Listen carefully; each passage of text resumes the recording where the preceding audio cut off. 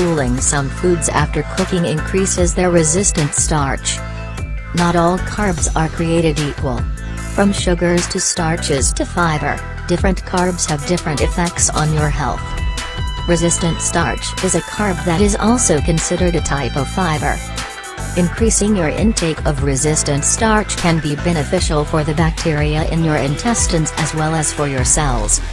Interestingly, research has shown that the way you prepare common foods like potatoes, rice and pasta may change their resistant starch content.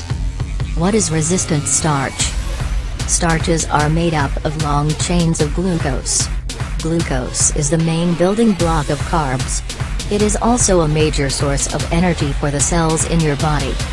Starches are common carbs found in grains, potatoes, beans, corn and many other foods. However, not all starches are processed the same way inside the body. Normal starches are broken down into glucose and absorbed. This is why our blood glucose, or blood sugar, increases after eating. Why is it good for you? Resistant starch provides several important health benefits. Since it is not digested by the cells of your small intestine, it is available for the bacteria in the large intestine to use. Resistant starch is a prebiotic, meaning it is a substance that provides food for the good bacteria in your intestines.